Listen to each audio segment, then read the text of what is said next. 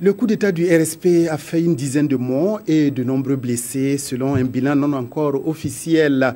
La plupart des blessés sont pris en charge à l'hôpital Yalagado Ouedraogo. Ces derniers ont reçu aujourd'hui la visite du ministre de la Santé, Dr Amédée Prosper Yigimde, qui leur a témoigné la solidarité de la nation entière. Il a aussi loué la disponibilité du corps médical, qui était toujours présent pour apporter les soins à des Burkinabés en détresse. Reportage Girasomé, Claudine Bikaba.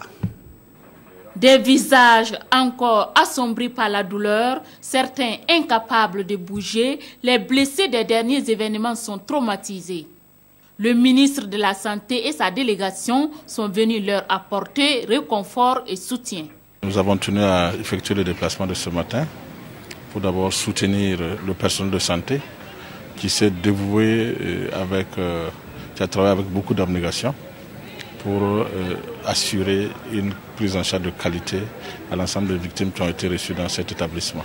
Cette visite a été une opportunité pour le directeur général de dresser le bilan des victimes accueillies dans son centre. Nous, nous avons dénombré effectivement avec précision 123 blessés.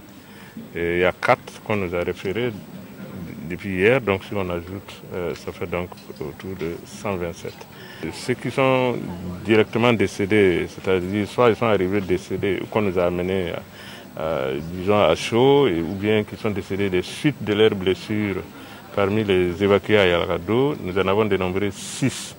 Mais Burkina nous a amené 5 corps euh, de personnes décédées euh, à travers la ville, si bien que ce que nous avons reçu dans notre morgue directement lié en tout cas aux événements, on peut considérer le chiffre de 11.